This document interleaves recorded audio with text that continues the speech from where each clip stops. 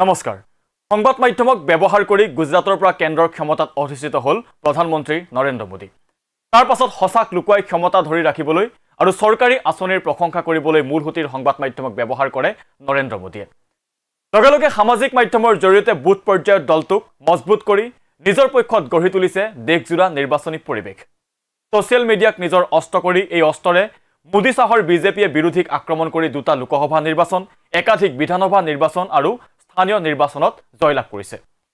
এই সফলতাত উৎসাহিত হৈ প্ৰধানমন্ত্ৰী নৰেন্দ্ৰ মোদীয়ে ভাৰতক ডিজিটেলভাৱে সবলীকৰণ কৰাৰ সিদ্ধান্ত লয় আৰু প্ৰদান কৰে ডিজিটেল ইণ্ডিয়াৰ শ্লোগান। এই অভিযান কিছু পৰিমাণে সফলো হৈছে কিন্তু ভাৰতবৰ্ষ যেতিয়া ডিজিটেল হ'বলৈ আগবাঢ়িছে তেতিয়া ভয়ত কিয় কম্পমান হৈছে নৰেন্দ্ৰ মোদী। ডিজিটেল ইণ্ডিয়াৰ শ্লোগান দিয়া প্ৰধানমন্ত্ৰী মোদীৰ ডিজিটেল মাধ্যমলৈ ইমান ভয় কিয়?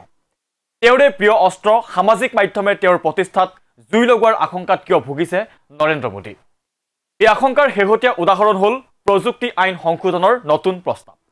গুজৰাটৰ সাম্প্ৰদায়িক সংঘৰ্ষক লৈ বি বি চিৰ দ্বাৰা নিৰ্মিত তথ্যচিত্ৰ প্ৰকাশৰ পাছতেই মোদী চৰকাৰে আনিছে এই প্ৰস্তাৱ। এই প্ৰস্তাৱ কেৱল এই তথ্যচিত্ৰৰ সৈতে সম্পৰ্কিত নহয়। এই আইনৰ অধিনিয়ম দুহেজাৰ একৈছৰ বিধি ষোল্লত অন্তৰ্ভুক্ত জৰুৰী ক্ষমতা প্ৰয়োগৰ দ্বাৰা কেন্দ্ৰীয় চৰকাৰে সামাজিক মাধ্যমৰ পৰা যিকোনো বিষয় আঁতৰাই পেলাব পাৰে। এই আইনৰ শেষবাৰলৈ সংশোধন হৈছিল দুহেজাৰ একৈছ চনত। নতুন খচৰা অনুসৰি ছ'চিয়েল মিডিয়াকে আদি কৰি সকলো প্লেটফৰ্মৰ পৰা যিকোনো বাতৰি আঁতৰাই পেলোৱাটো বাধ্যতামূলক কৰা হ'ব। যদিহে প্ৰেছ ইনফৰমেশ্যন ব্যুৰোৰ ফেক চেকিং ইউনিটে সেই বাতৰি মিছা বা বিভ্ৰান্তিকৰ বুলি চিনাক্ত কৰে। এই ফেক চেক কৰা হ'ব প্ৰেছ ইনফৰমেশ্যন ব্যুৰোৰ সঞ্চালক অতিৰিক্ত সঞ্চালককে ধৰি পাঁচজন জ্যেষ্ঠ বিষয়াৰ তত্বাৱধানত। অৰ্থাৎ প্ৰেছ ইনফৰমেশ্যন ব্যুৰোৱে এতিয়া যিকোনো বাতৰি ফেক চেক কৰিব। আৰু তেতিয়া কি হ'ব আপুনি নিশ্চয় বুজিয়ে পাইছে।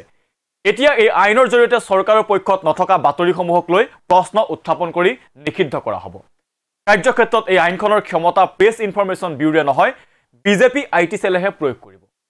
ডিজিটেল মাধ্যমত চলি থকা বাতৰিসমূহ নিৰীক্ষণ কৰি পি আই বিৰ জৰিয়তে বন্ধ কৰিব বিজেপি আই টি চেলে। কিন্তু নৰেন্দ্ৰ মোদীৰ ডিজিটেল মাধ্যমলৈ ইমান ভয় কিয়? আচলতে মূলসুঁতিৰ সংবাদ মাধ্যমৰ প্ৰতি মানুহে এতিয়া বিশ্বাস হেৰুৱাইছে টিভি চেনেলত উচতনিমূলক বিতৰ্ক চোৱা বাদ দিছে জনসাধাৰণে। পূৰ্বে নিউজ চেনেলৰ জৰিয়তে একপক্ষীয়ভাৱে ৰাইজৰ মাজলৈ যি বাতৰি গৈছিল সেয়া ডিজিটেল মাধ্যমৰ উত্থানৰ লগে লগে কমি আহিছে। চৰকাৰৰ সমস্যাটো হ'ল যে ডিজিটেল মাধ্যমে জনসাধাৰণৰ অভাৱ অভিযোগক নিজৰ প্লেটফৰ্মত আলোচনা কৰি আহিছে। যিটো মূলসুঁতিৰ সংবাদ মাধ্যমে দেখুৱাবলৈ বন্ধ কৰি দিছে। ডিজিটেল প্লেটফৰ্মত মুকলিকৈ কথা কৈছে সাংবাদিকসকলে। ৰাইজৰ সমস্যা উত্থাপন কৰি চৰকাৰক কাঠগড়াত তুলিছে। এই সন্দৰ্ভত জ্যেষ্ঠ সাংবাদিক পুণ্য প্ৰসূন বাজপেয়ীয়ে কয় যে মূলসুঁতিৰ সংবাদ মাধ্যমৰ এটা নিজা ব্যৱসায়িক মডেল আছে। এই মডেলৰ বাবেই চৰকাৰে সহজেই তেওঁলোকক নিজৰ নিয়ন্ত্ৰণলৈ আনিব পাৰে। কিন্তু ডিজিটেল মিডিয়াৰ কোনো কঠিন ব্যৱসায়িক মডেল নাই। ই ব্যৱসায়িক মডেলতকৈ প্ৰযুক্তিৰ ওপৰত ভিত্তি কৰি গঢ়ি উঠিছে।